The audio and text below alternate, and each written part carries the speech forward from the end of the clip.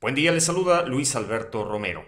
Durante los años recientes, Veracruz ha dejado de ser solo ruta de paso para convertirse en lugar de destino para miles de migrantes que huyen del desempleo, la pobreza, la falta de oportunidades y la violencia. Podría resultar paradójico que quienes son desplazados por la violencia de Centroamérica busquen refugio en una entidad del país donde la inseguridad es un tema constante. ¿Cómo estarán las cosas en Honduras si quienes huyen de ese país encuentran refugio en un estado, Veracruz, donde la pobreza llega a más de la mitad de la población?